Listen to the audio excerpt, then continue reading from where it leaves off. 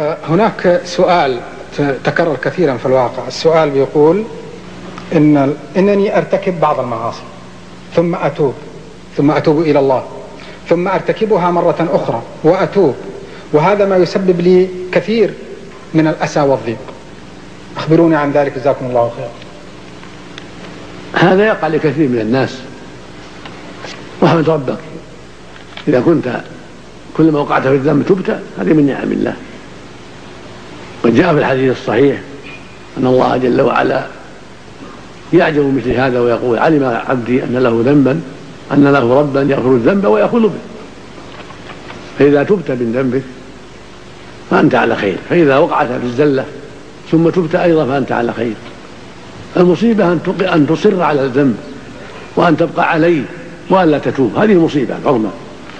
ولكن عليك أن تجاهد نفسك لعلك ترجع لعلك لا ترجع إلى الذنب. لعلك تسلم منه.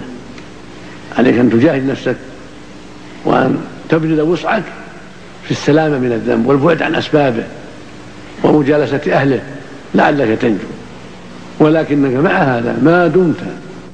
متى فعلته بادرت بالتوبة وعرفت خطرك وأنك على خطر عظيم فتبت توبة صادقة فأنت على خير.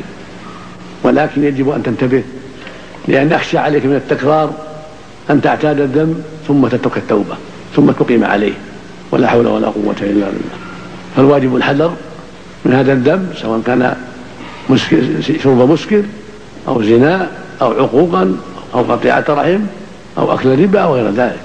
عليك أن تبتعد عن أسبابه وأن تحذرها وأن تضرع إلى الله صادقا أن يعيذك من هذا الذنب وأن يكفيك شره وأن يحول بينك وبينه ومن ضرع إليه صادقا أجاب سبحانه وتعالى. ادعوني أستجب لكم نعم.